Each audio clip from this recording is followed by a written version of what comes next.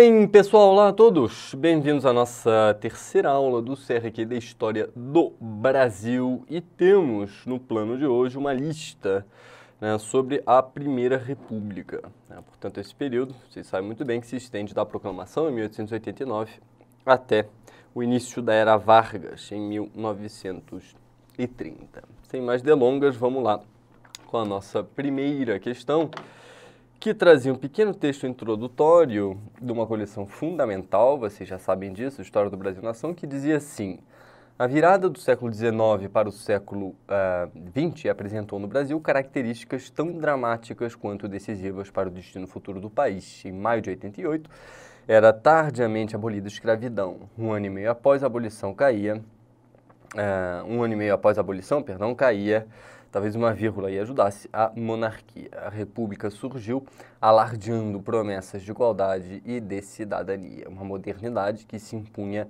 menos como opção e mais como uma etapa obrigatória e incontornável. Tendo então o fragmento do texto apresentado como referência inicial, pedia-se para julgar certo ou errado os itens a seguir acerca dos fatos marcantes da Primeira República, tão largo quanto isso. E algumas vezes, efetivamente, temos questões que sambarcam períodos mais extensos, uh, sem, portanto, uh, se uh, cristalizarem em períodos menores, evidentemente. Primeiro item. Proclamada a partir de um golpe militar, a República caracterizou-se inicialmente por dois modelos políticos contraditórios: o modelo liberal federalista, que esteve na base da Constituição aprovada, e o da ditadura positivista, né, defendida não apenas pelos intelectuais ligados ao positivismo ortodoxo, mas também pela maior parte da intelectualidade militar do país e por políticos importantes influenciados pelo pensamento de Augusto Comte, um francês naturalmente, principalmente no Rio Grande do Sul.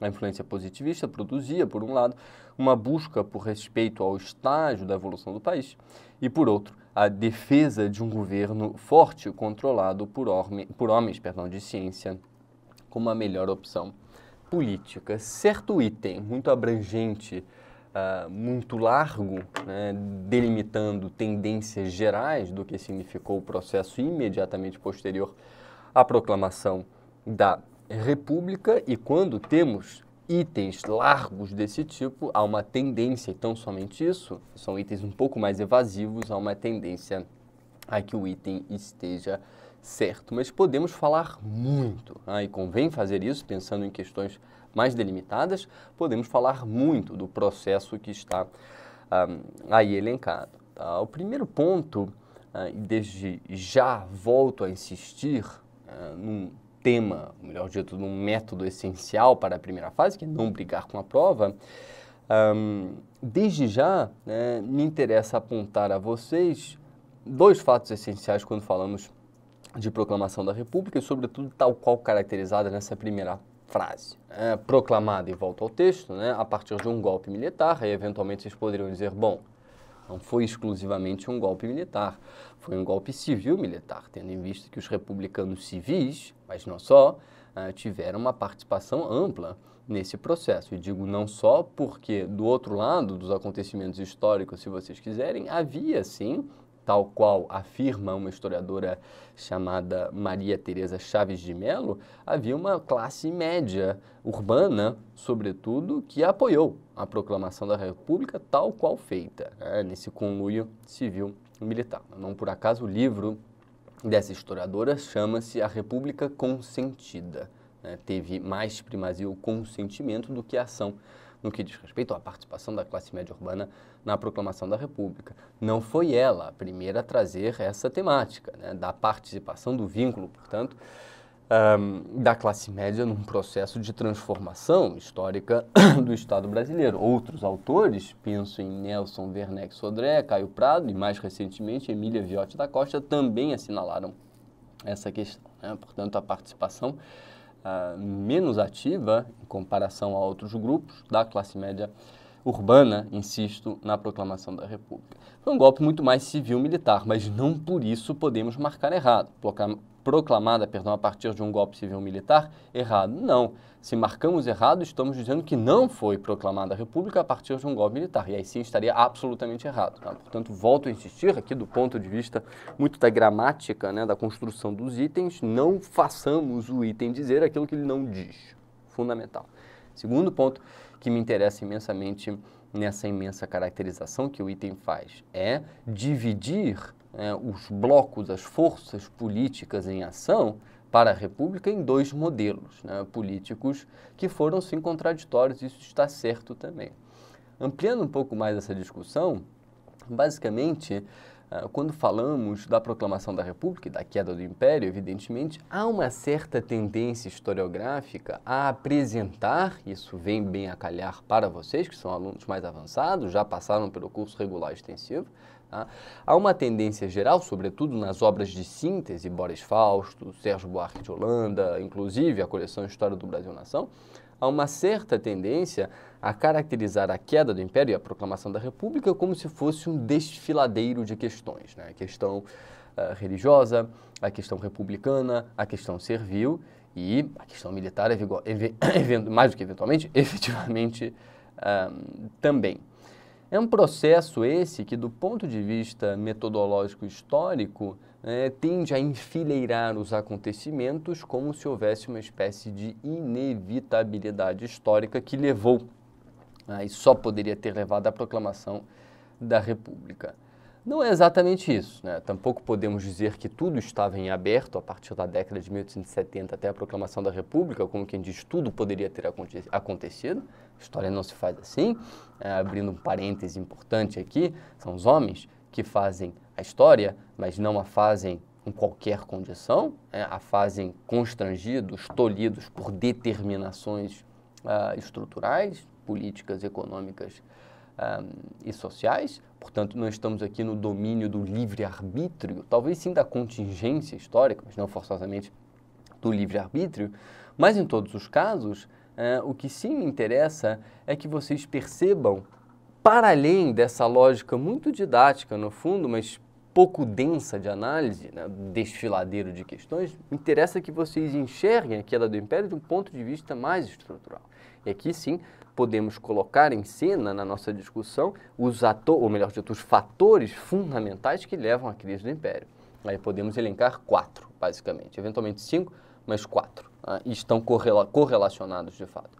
O primeiro deles é o declínio da cafeicultura escravocrata, evidentemente, do Vale do Paraíba, ou da bacia de forma mais extensa. É um vale, ou ainda, portanto, de forma mais extensa, uma bacia, que assambarca imensa parte do atual estado do Rio de Janeiro, inclusive a parte mais oriental, se vocês quiserem, do atual estado de São Paulo. Há um declínio que tem a ver com condições de solo, é, e tem a ver com o avanço da questão emancipa emancipacionista também, há um declínio desse eixo produtivo, primeiro fator, e ao mesmo tempo há um transbordamento então desse eixo produtivo para o oeste paulista, que insisto, o oeste paulista não é o oeste geográfico de São Paulo atual, é o que se chamava oeste paulista à época, não por acaso, era o oeste em relação ao Vale do Paraíba, portanto Campinas para cima, né? Rio, Rio Claro, Araraquara, São Carlos e companhia. Tá? Portanto, dois fatores aí fundamentais. É, declínio do vale, ascensão do oeste paulista, o que significa é, uma mudança de eixo produtivo, com uma contradição importante, que é o fato do capital financeiro, o capital bancário, estar em mãos muito mais daqueles vinculados à cafeicultura do vale do que aqueles vinculados à cafeicultura do oeste. Portanto, há uma tensão, uma contradição clara entre o eixo produtivo, do capital produtivo, e o eixo do capital financeiro, que ao mesmo tempo passa por um declínio produtivo. É, essa contradição é fundamental. Avançando uh, nos nossos fatores. O então, terceiro fator fundamental é a ordem global. Né? E geralmente a historiografia não coloca esse fator quando trata da crise do império. Sem forçar a mão, sem forçar o traço, podemos dizer perfeitamente que o deslocamento, ou pelo menos progressivo deslocamento do eixo global de poder para os Estados Unidos favoreceu e o Oeste Paulista, é um país que consome cada vez mais um café produzido cada vez mais também pelo Oeste Paulista e, ao mesmo tempo, um deslocamento de poder global muito progressivo, é claro, não adiantemos a ordem dos acontecimentos, mas um deslocamento de poder global para os Estados Unidos que ideologicamente também favorece os republicanos civis, fluminenses, paulistas, mineiros e gaúchos incluídos. Ah, portanto, ah, reparem como essa constelação de fatores está efetivamente imbricada, ela se retroalimenta, é interdependente. Avançando ainda nessa lista de fatores estruturais, podemos pensar sem dúvida alguma a politização de uma parcela expressiva das Forças Armadas, sobretudo do Exército, aqui veteranos da Guerra do Paraguai falando alto, Deodoro, Floriano, Benjamin Constant, todos veteranos da Guerra do Paraguai, isso sem desconsiderar a ação é, muito radical, muito influenciada pelo positivismo da mocidade militar da Escola Militar da Praia Vermelha, no Rio de Janeiro. E um último fator absolutamente importante também é justamente é, o apoio, é, o consentimento republicano, se vocês quiserem, dessa classe média urbana. Tá? Esses são os grandes movimentos estruturais que explicam a crise do Império e a proclamação da República. Agora, há modelos que se projetaram mais, que tiveram mais expressividade, e são eles justamente esses dois aí assinalados. Em primeiro lugar, né, um modelo liberal federalista que interessava muito aos cafeicultores de São Paulo, não por acaso, a federação significava o deslocamento de responsabilidades financeiras e tributárias e orçamentárias para São Paulo, isso se refletiu na Constituição de 1891. O mais expressivo é o fato do imposto de exportação ficar retido nos estados, ah, ponto importante, ah, sem dúvida ah, alguma. E o outro modelo mais expressivo é o modelo militar, que é um modelo contrário, é um modelo industrialista, é um modelo que advoga a proteção alfandegária. É o contrário do modelo oposto, evidentemente. É um modelo esse militar que preconiza a imigração, mas para o campo e não para a cidade. Para a cidade, a imigração seria concorrência em relação aos locais, aos brasileiros que deveriam ser favorecidos. Portanto, são dois modelos que se chocam. Inclusive, pensem como símbolo desse choque imenso a lei bancária do Rio Barbosa, da qual falaremos mais à frente também. A lei bancária traduz um ímpeto industrializante levado a cabo pelos militares. O intuito da lei, ah, ou um dos intuitos maiores, era flexibilizar a criação monetária de forma a dar lastro, a dar fôlego a uma indústria que ainda não havia florescido, como se dizia à época, de forma consequente. E do outro lado, reparem que isso está caminhando lado a lado, um tratado tal qual o Tratado Blim Mendonça, que favorece as exportações cafeeiras e autoriza ao mesmo tempo a importação de bens manufaturados, não por acaso norte-americanos. Talvez esses dois exemplos ah, sejam os mais concretos quanto à real oposição e contradição desses modelos políticos. Né? Não por acaso são modelos opostos que se unem em relação a um problema comum, que era efetivamente a coroa, e a partir do momento em que um problema como a coroa né, esmorece, aí sim eles entram em rota uh, de colisão. Uh, não me estendo mais sobre o assunto, uh, mas tenham em mente esse movimento estrutural que explica a proclamação da República, tanto para a primeira fase, mas eventualmente para a terceira fase também. Há tempos não temos uma questão cheia, plena, sobre a crise do Império e a proclamação da República.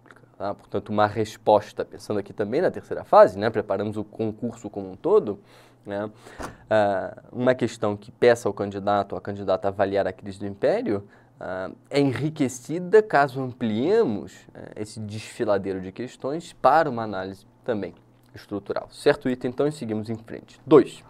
O jacobinismo, radicalismo popular com conotações xenófobas, e volto à nossa folha, anti-português em especial, com agenda voltada para questões sociais, aliava-se com a ideia de tutela militar e foi mobilizado pelos dois primeiros presidentes militares, Deodoro e Floriano Peixoto. O acesso ao emprego público logo tornou-se importante moeda política no meio urbano, associando clientelismo e radicalismo popular.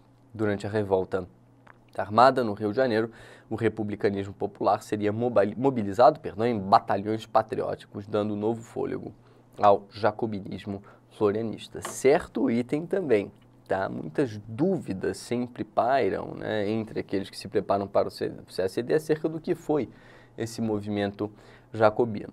E ele é heterodoxo não só devido à sua radicalização, mas porque é uma agenda fluida em muitos aspectos. Né? Uma agenda que comporta uma atenção voltada para as classes populares, mas sobretudo também e justamente para as classes médias.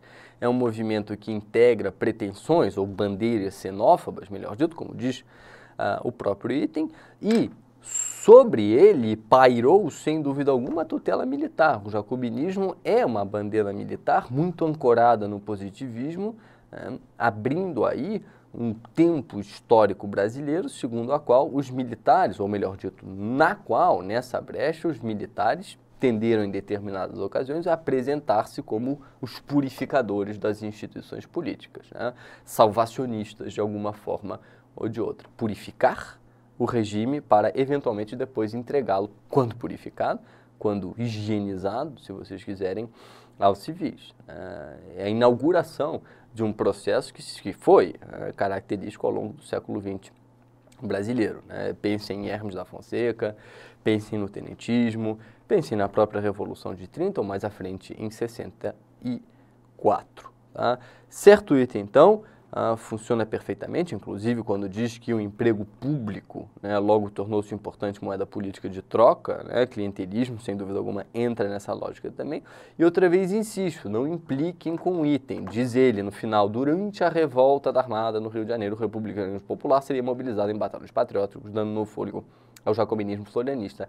É claro que a referência aqui é a segunda revolta da Armada. Não adianta marcar errado dizendo, não, foram duas revoltas da Armada e, portanto, há um furo é, interpretativo, pelo menos há uma brecha interpretativa que se abre nesse item, marco errado. Não precisa brigar com a prova. Tá? É, via de regra, quando se fala em revolta da Armada, a referência é a segunda revolta da Armada, aquela que estoura no contexto da ascensão de Floriano Peixoto ao poder. Né? A primeira é aquela que se dá contra Deodoro, acusando-o de concentrar poderes e, portanto, romper com o constitucionalismo liberal. E a segunda revolta da Armada, essa sim, se dá contra Floriano Peixoto, que deveria ter convocado eleições, assume após a queda de Deodoro, deveria ter convocado eleições, segundo a Constituição daquela época.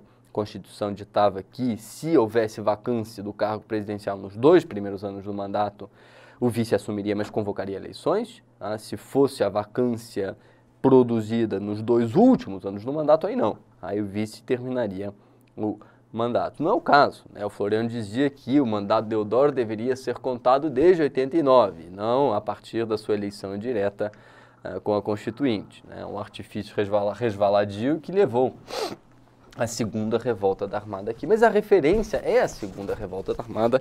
Isso é relativamente óbvio, porque se diz, né, dando um novo fôlego ao jacobinismo florianista. Ah, certo item, então, seguimos em frente. 3. Capacidade de mobilizar homens armados para fins políticos foi uma das características mais marcantes da experiência política da Primeira República. Ela era, em geral, acionada por grandes proprietários rurais apoiados em uma extensa clientela, muitas vezes chamados coronéis, em função da tradição de possuir, em vez de regra, a mais alta patente da Guarda Nacional, né? milícia da qual participavam apenas os eleitores no tempo do Império, que só seria oficialmente extinta em 1918. Certíssimo. Aqui é uma caracterização também do que foi o movimento enfim, o movimento, o que foi a ação coronelista, é, do que foi simplesmente o coronelismo na primeira república, a lógica, a lógica é, patrimonialista, clientelista, é, reconduzindo uma tradição que vinha do império, uma tradição é, nefasta, entre parênteses, que vinha do Império, uma confusão entre o público e o privado, poderíamos agregar. E, além disso, insistiria também no fato que o coronelismo não somente expressou-se no campo, mas na cidade também.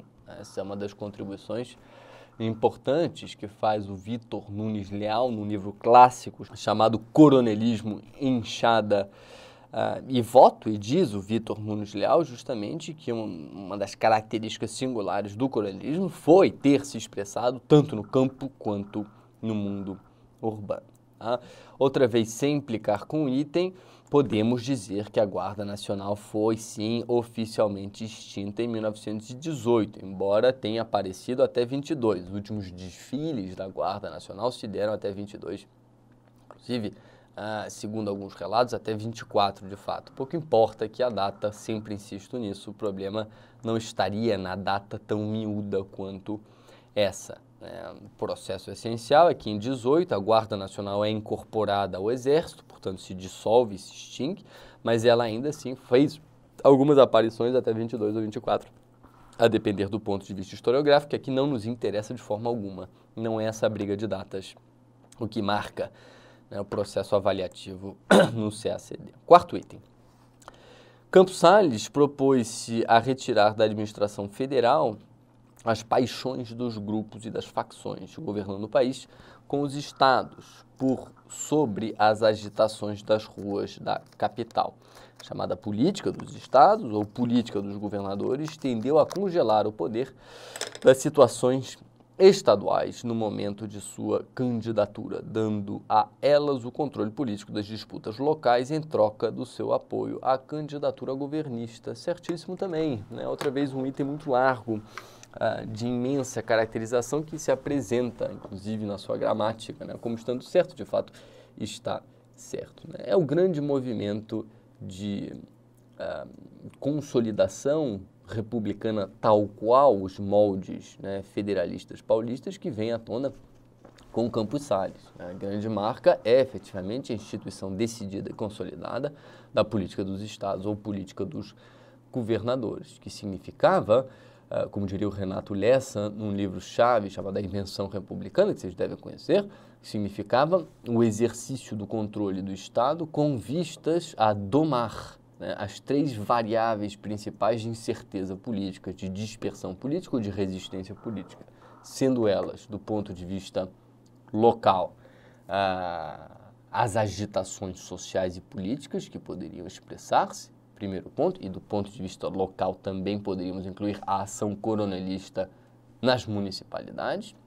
Segundo nível, o nível estadual, ah, fundamental controlar e as relações entre o Estado, os governadores de Estado, ou presidentes de Estado, como se dizia, se dizia à época, e a esfera local, e ao mesmo tempo ah, fazer com que a relação, a própria relação entre União e presidentes de Estado fosse fluida também.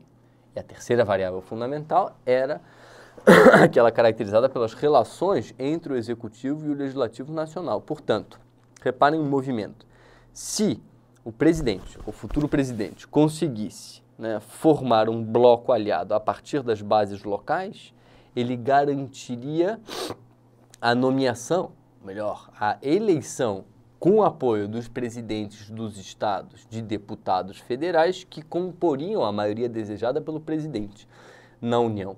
E, ao mesmo tempo, para assim fazer, deveria haver bom trânsito entre justamente uh, o presidente e os governadores de estado. Portanto, reparem que estamos num momento aqui uh, em que se tentou congelar, reformar as estruturas, é claro, mas congelá-las, tal qual dispostas, de forma a, seguirá, a assegurar uh, a fluidez do sistema, de forma a evitar curtos-circuitos, poderíamos dizer, nessa lógica. É a obra fundamental de Campos Salles que resiste um bom trecho é, pelo menos até as eleições de 1910, é, um pouco mais de uma década, portanto, ou uma década, se vocês quiserem, como média, em que o regime, a Primeira República, assumiu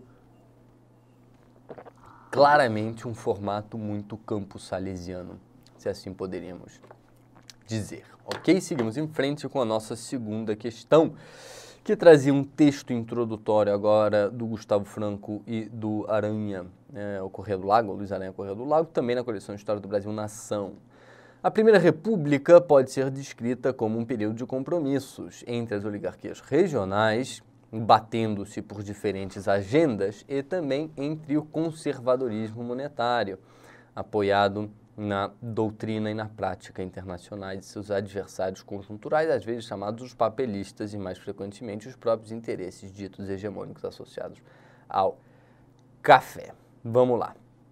Tendo o fragmento do texto apresentado como referência, julgue certo ou errado os próximos itens acerca dos processos econômicos da Primeira República. Primeiro item. Em 17 de janeiro de 1890, a Jovem República conheceu seu primeiro grande pacote econômico quando uma série de decretos trouxe uma nova lei para bancos de emissão, criando várias instituições e, e, deslocalizando as instituições financeiras antes concentradas na corte, na antiga corte, no Rio de Janeiro, e item ainda, e para diferentes regiões então do país. E também algumas importantes alterações na lei societária, modificando substancialmente os entraves à incorporação de novas empresas e instituições financeiras. Esse é um ponto importante, faço parêntese aqui. A referência aqui é a Lei dos Entraves, como ficou conhecido, uma lei de 1860. Basicamente, essa lei veio à tona após uma crise financeira que foi atribuída a uma ação deletéria, porque papelista, porque muito heterodoxa do ponto de vista monetário, de Souza Franco, ah, quando na pasta, então, ah, da Fazenda, ainda à época do Império. É, o Souza Franco relaxa o controle monetário, inclusive tenta produzir justamente uma proliferação de instituições financeiras para além do Rio de Janeiro, evidentemente, aquilo gerou uma imensa crise, ainda no final da década de, de 1850. Ah, uma crise que derrubou bancos, ah, que derrubou ah, estruturas financeiras, se vocês quiserem, e que gerou inflação. Ah, a resposta a isso foi a resposta do Visconde de Itaboraí por excelência. Né? Um pensador econômico para a época, evidentemente, ah, conservador também, muito ortodoxo do ponto de vista monetário, e o que a reboque das considerações do Itaboraí se fez foi justamente ajustar o mais expressivamente possível os controles monetários, inclusive pela lei. Tá? E ajustar os controles monetários significava toler a possibilidade de expansão de instituições financeiras, inclusive também uh, de uh, é, sociedades anônimas. E nisso incluíam novas empresas, como diz o item. A tônica é essa, né? controlar o processo de criação monetária, de expansão financeira, ah, inclusive de expansão produtiva até certo ponto, de forma a blindar né, o que se dizia à época, não com o termo exato de inflação, mas o que, ao que se referia como é, uma defasagem em relação ao câmbio ideal. Né, um marco que se estabelece a partir daí, que é um marco do mil réis equivalente a 27 pence. Isso é fundamental do ponto de vista dos conservadores Itaboraí, justamente para assegurar ganhos do café ligado ao vale. Um desequilíbrio cambial ah, poderia afetar negativamente as exportações cafeeiras. As coisas estão entrelaçadas. Né? E mais uma vez aqui vimos pairar a classe economicamente dominante sobre a classe politicamente né, dirigente. Portanto, a referência no item é a esse processo. Com a lei bancária se afrouxa. Evidentemente, a antiga lei uh, dos entraves, né, muito fustigada por liberais e, evidentemente, do ponto de vista financeiro monetário, pelos papelistas, assim chamados também. E diz o item, a reação do mercado foi de absoluto deslumbramento, de fato foi. A euforia na Bolsa ganhou o renovado impulso de pouco mais de 90 companhias listadas, listadas, evidentemente, não listadas, havia mais. No início de 88, passou-se a cerca de 450 em meados de 1891. Tais inovações trouxeram prosperidade econômica e se mantiveram até a gestão de Campos Salles. Bom, isso é um belíssimo disparate, o final. É, prosperidade econômica, muito relativamente.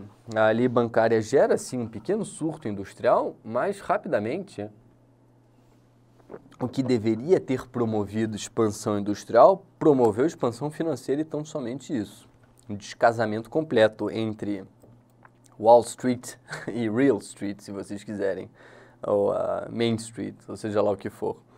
Um, o que houve foi muito mais um processo de corrida financeira, né, de euforia financeira, do que de euforia industrial produtiva. É nesse descasamento, então, quando percebeu-se que não havia respaldo uh, de capital produtivo a esse muito entusiasta capital financeiro, é nessa contradição que temos o clássico sabido e notório que é a crise do encilhamento. Tá? Portanto, prosperidade econômica muito forte. E, sobretudo, se mantiver até a gestão de Campos Salles, é um belíssimo disparate, de forma alguma. Né? Os monetaristas voltam correndo a cena econômica e enxotam o nosso bom e velho Rio Barbosa para longe, acusado de ser, de ser perdão, o paladino dos papelistas. Tá? Erradíssimo esse primeiro item. Seguimos em frente. Em 21, durante o governo de Epitácio Pessoa e diante da persistência do desequilíbrio comercial, queda do preço do café e do câmbio, cresceu a pressão para uma nova operação de valorização do café empreendida pelo Estado de São Paulo e desta vez com apoio do governo federal, que autorizou o Tesouro a endossar as letras de café e o Banco do Brasil a descontar uh, essas letras através da carteira de redesconto. Era o rompimento do isolamento entre Tesouro e Banco do Brasil. Certíssimo item também. Uh, me interessava particularmente esse item porque, de forma muito mais sucinta, houve um item um, há dois anos atrás que justamente cobrava esse processo de forma mais sucinta, porque falava-se em queda do preço do café e do câmbio, e tão somente isso, ou tão somente quase isso, no item. A ideia desse item foi ampliar um pouco mais a discussão, de forma que vocês tivessem mais elementos para entender esse processo econômico que marca, então, a retomada da valorização do café, essa cooperação, se vocês quiserem, entre Tesouro e Banco do Brasil e a posição econômica de Epitácio Pessoa como um todo. É né? uma voz oligárquica com todas as letras. Certo, então? Seguimos à frente. 3. Em 1905, Uh, os Estados Unidos do Brasil produziram boa parte da borracha mundial, né? segundo boom da borracha, se vocês quiserem. Né? O primeiro ainda nos anos finais, nos estertores finais do Império. A borracha, continua o item, extrativa chegou a representar 39,1% das exportações brasileiras em 1910, contra 42,3% do café. Mas este, o café, logo voltou a representar mais de 60% das exportações com o colapso dos preços internacionais da borracha.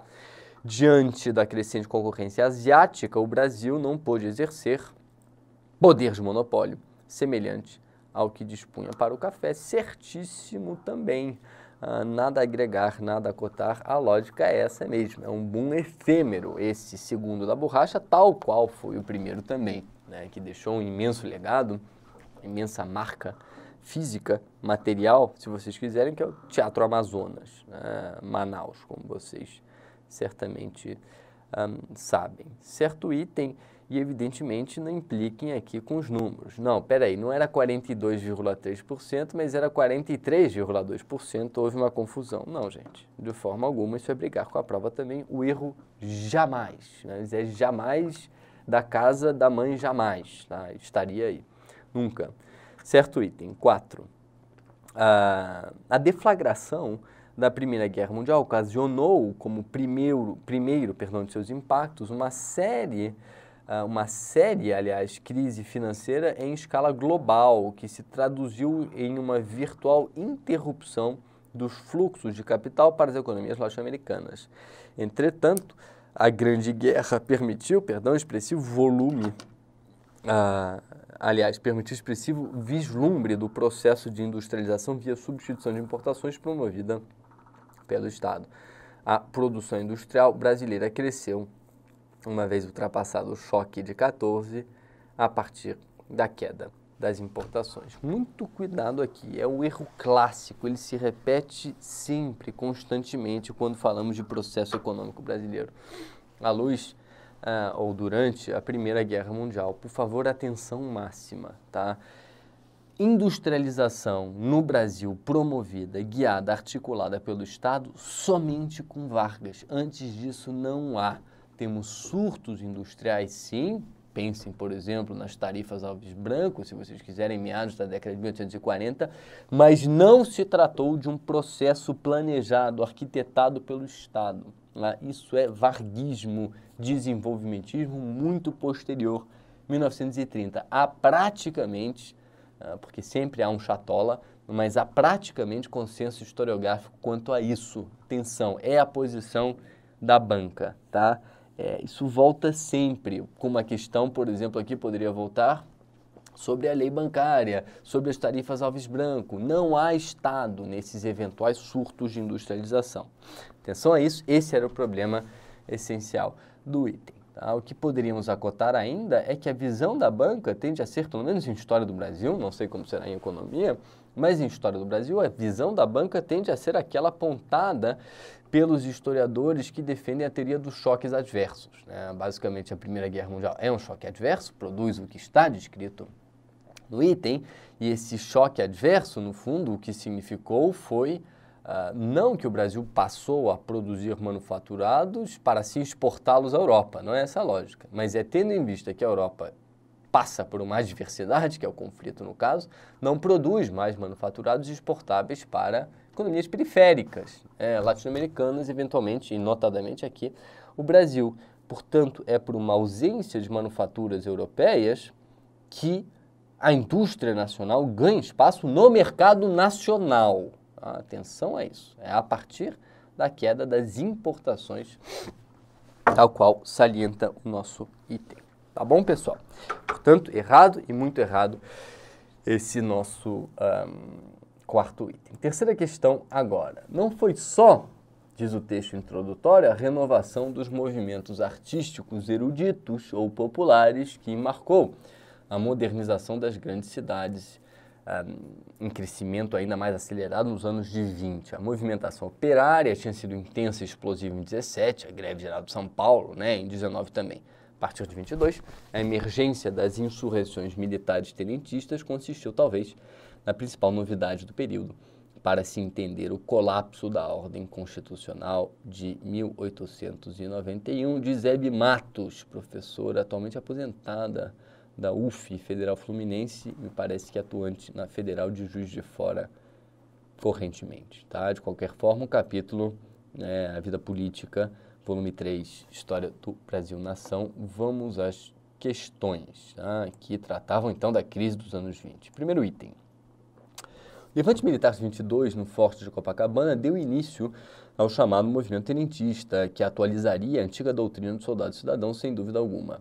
Mais uma vez, o levante dos jovens militares, adaptando o modelo da Proclamação da República de 1889, precisou atrair um militar de alta patente, no caso Hermes da Fonseca, e colocar-se ao fim formalmente ao lado da lei. Item difícil. Esse é o item cota da banca né, lista de hoje.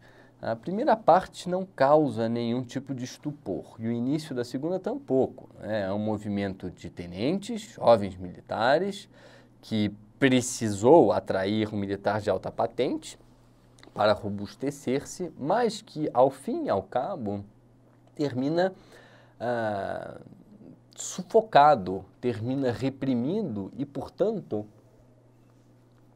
terminam eles formalmente ao lado da lei. É esse, no fundo, o percurso um pouco oscuro, é verdade, que faz o item na sua caracterização. Eu teria dificuldades, para ser absolutamente honesto, em marcar certo com toda segurança, especialmente pelo final, e colocar-se ao fim formalmente ao lado da lei. O que, que isso significa em termos concretos? Pode ser a pergunta da candidata ou do candidato quando, na hora da prova, se depara com um item como esse.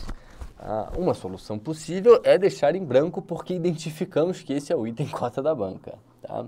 São exceções, mais uma vez, não se apavorem. Mas, ao mesmo tempo, quando chegamos a esse ponto em que o item se tornou de fato resvaladio, podemos recorrer à própria gramática, ou pelo menos prestar atenção a ela.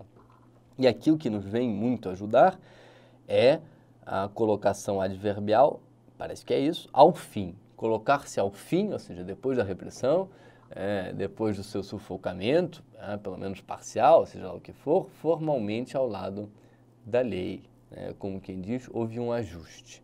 E esse ajuste é, passou, após resistências, revides e conflitos, né, passou por uma acomodação legal.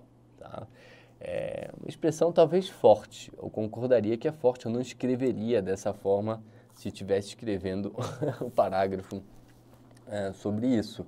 Mas o ao fim aqui vem nos ajudar.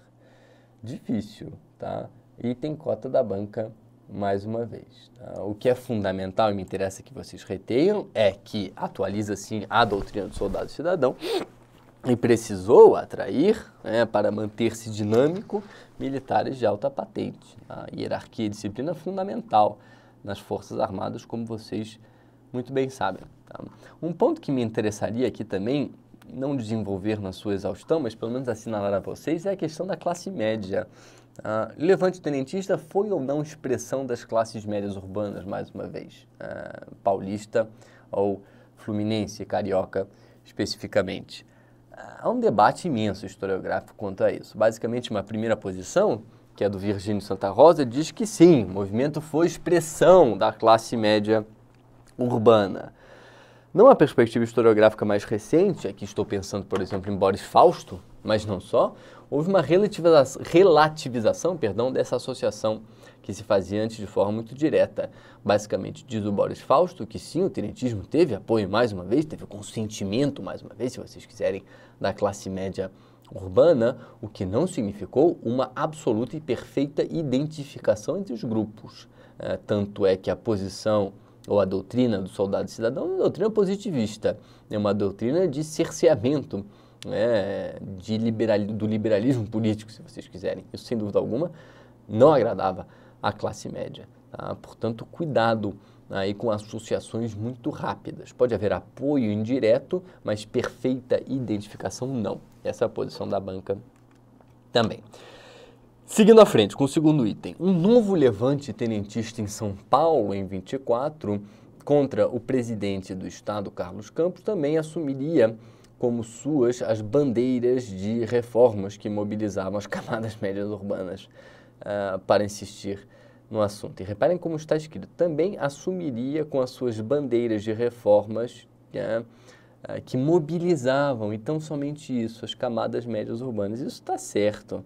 A expressão é diplomática, se vocês quiserem, é dócil, uh, não é radical e absolutista ou absolutista.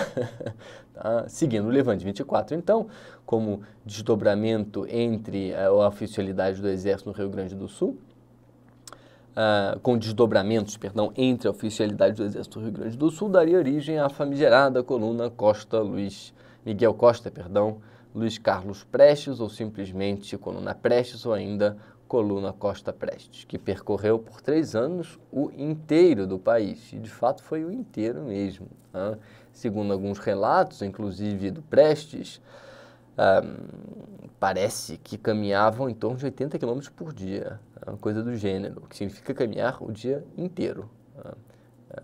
Talvez houvesse um pouco de exagero, mas não deixou de ser uma experiência exaustiva, imagino, para esse tenente. E termina o item dizendo combatida pelo exército pelas tropas coronelistas.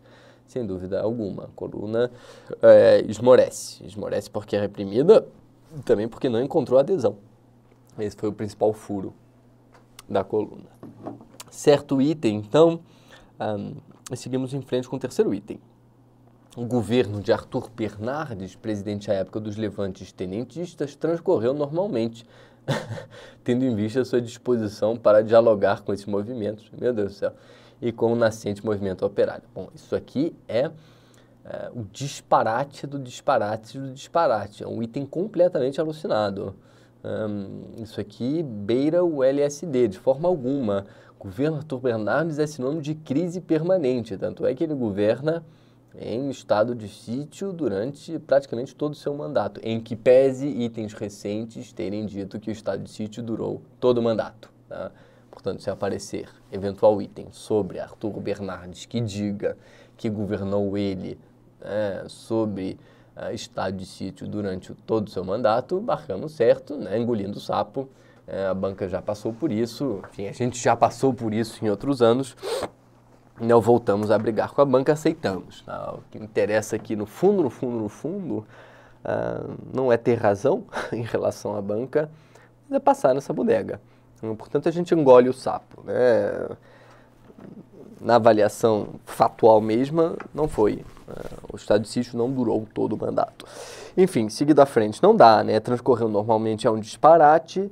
Uh, dialogar com os tenentes, os tenentes é outro troço completamente alucinado. E discutir, dialogar com o movimento operário é ainda mais pirado, erradíssimo. Né? Arthur Bernardes é mão firme, muito ortodoxo, estado de sítio, não por acaso Arthur Bernardes foi odiado em seu tempo, inclusive no tempo imediatamente posterior, inclusive pelos paulistas, né, que tecnicamente é, ou historicamente haviam sido os aliados dos mineiros. Eu digo isso porque Arthur Bernardes é um mineiro, evidentemente. Não agrada Bernardes, né, faz um choque ortodoxo do ponto de vista econômico, isso desagrada com a aficultura paulista. É um belo desastre o governo Arthur Bernardes todos os pontos de vista, inclusive do externo, pensando aí na crise da Liga das Nações. Tá? Erradíssimo item. 4. Na sucessão de Washington Luiz, os grandes estados não chegaram ao nome de consenso. Ah, sem dúvida alguma, não.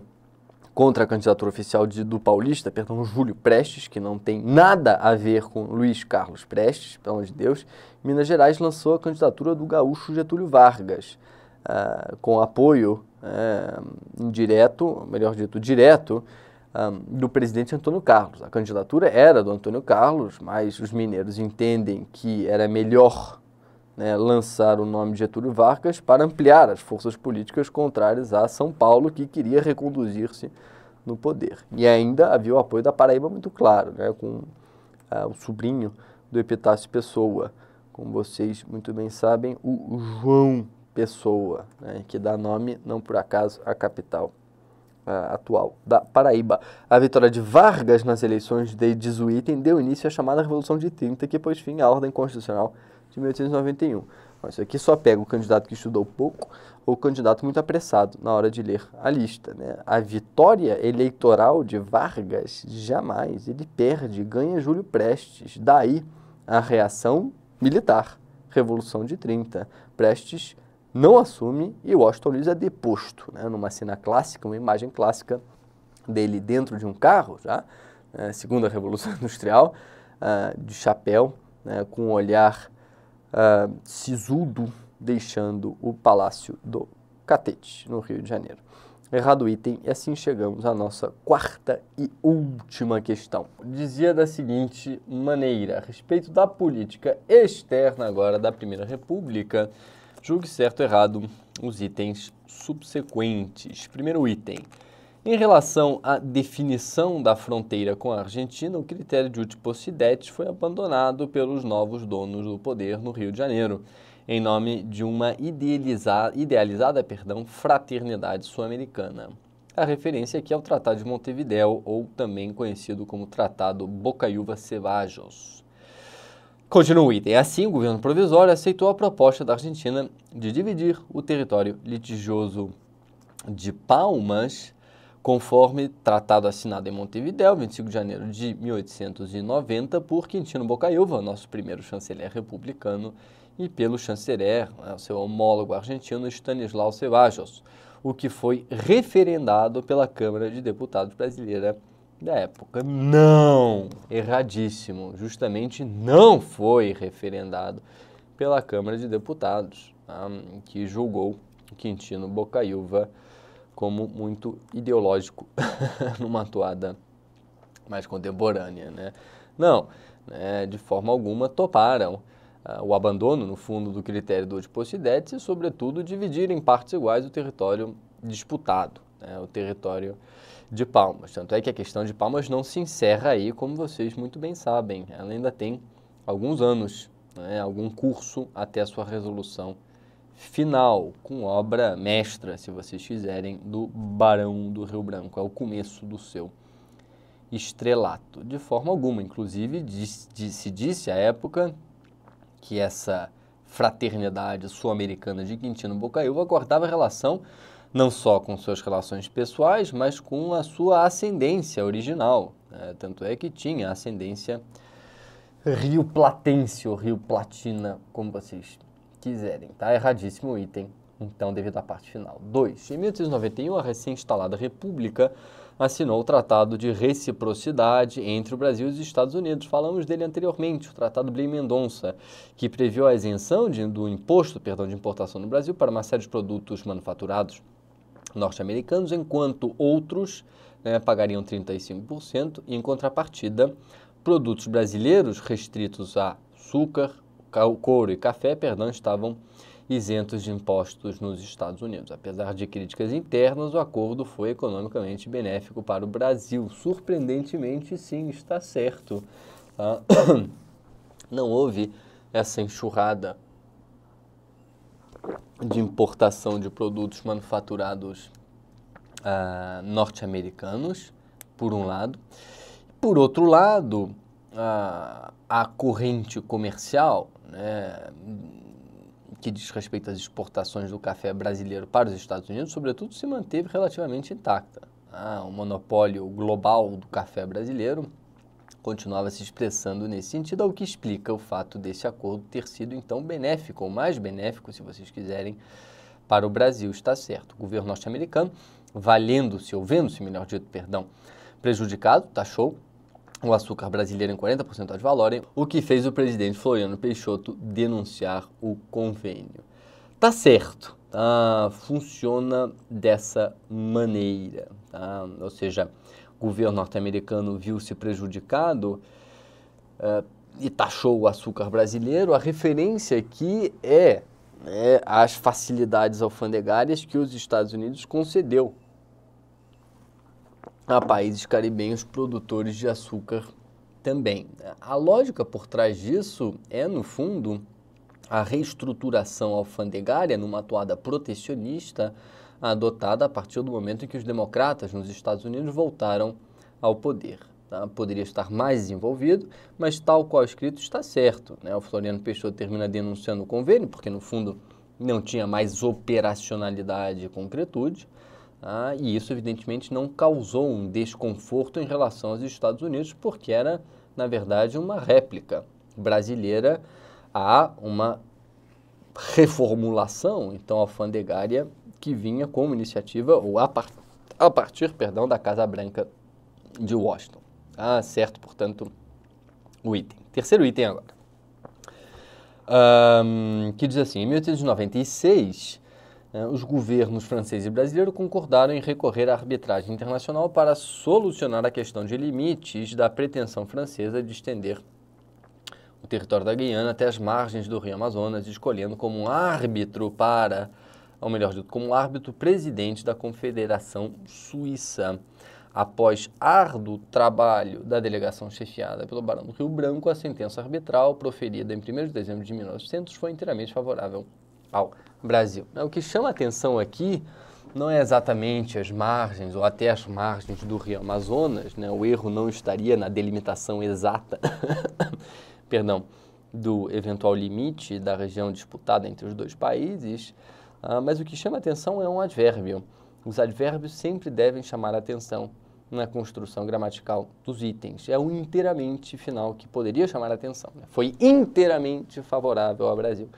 Via de regra, e tão somente via de regra, quando os advérbios tendem a ter essa toada muito absolutizante, por assim dizer, absolutamente, inteiramente, totalmente e assim por diante, tende, tão somente tende a haver um problema no item. Tá? E eu digo tende porque não é o caso aqui. Portanto, é uma tendência. E outra vez, não ah, uma característica absoluta. Tá? No caso, foi inteiramente favorável ao Brasil, sim.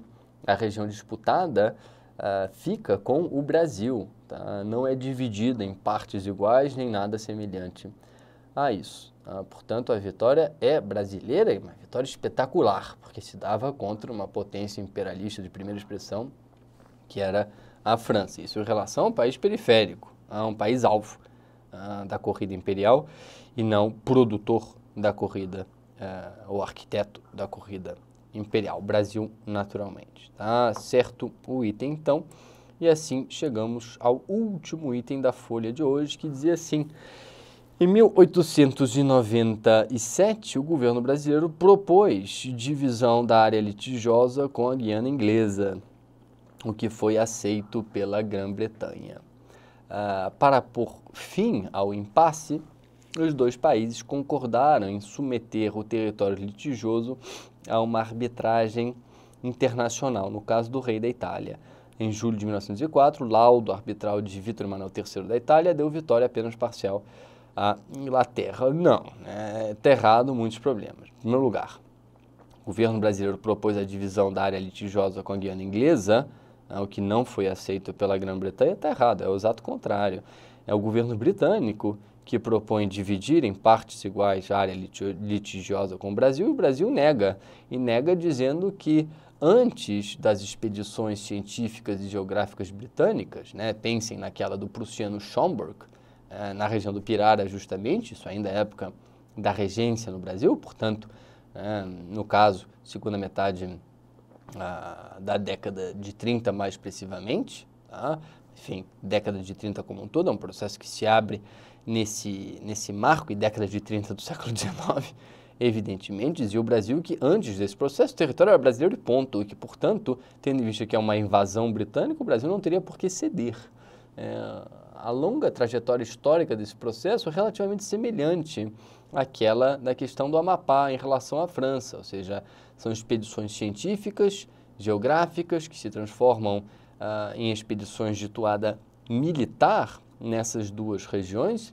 Ah, ah, o caso francês tem um histórico mais antigo, porque remonta ainda ao período colonial, como vocês sabem uh, também, mas o fato é que a partir então do período regencial e dessas invasões que ocorrem, uh, se abriu um caminhar histórico semelhante entre as questões uh, do Amapá e do Pirara, né? o que significou que as duas regiões disputadas permaneceram neutras até que se resolvesse, até que os governos sentassem à mesa para efetivamente resolver a questão. E nisso houve desdobramentos vários, né? a tal ponto que nessa região disputada notadamente com a França, a região do Amapá, chegou a constituir-se a República de Cunani, inclusive um pouco mais à frente, já no início do governo republicano, um estado, um estado que se queria independente do Amapá. Aí sentaram à mesa governo, os governos brasileiro e francês e resolveram rapidamente a questão. O caso britânico é semelhante, na medida em que a região, a área litigiosa, melhor dito, permanece neutra até a resolução da questão do Pirara, efetivamente. Mas a toada é inversa, é o governo britânico que propõe a divisão em partes iguais, o Brasil rejeita, dizendo que aquilo era brasileiro e ponto. Ah, portanto, não se chega nesse sentido a uma solução, se encaminha a questão para uma arbitragem internacional e, por forte pressão britânica, é escolhido o rei da Itália, que era um anglófilo, e não um anglófobo, mas um anglófilo adorador, se vocês quiserem, uh, da Inglaterra. Enfim, adorador por razões muito pragmáticas, né? porque contava com apoio britânico na própria corrida imperial italiana na África, é, em contrariedade à Alemanha. Né? As relações sistêmicas aqui pesaram sem dúvida alguma. E o laudo arbitral de Vítor Emanuel III foi muito mais favorável à Inglaterra do que ao Brasil. É, dois terços, um pouco mais do que isso no fundo, mas dois terços da região disputada ficam com a Inglaterra, enquanto um terço apenas com o Brasil. Portanto, deu vitória apenas parcial à Inglaterra, também é uma caracterização equivocada. Tá bom, pessoal? Fechamos então a, nossa lista de hoje aqui. Terminamos o nosso encontro um, com esse último item. Eu agradeço a atenção, como sempre, e nos vemos rapidamente no próximo encontro. Tchau, tchau, pessoal.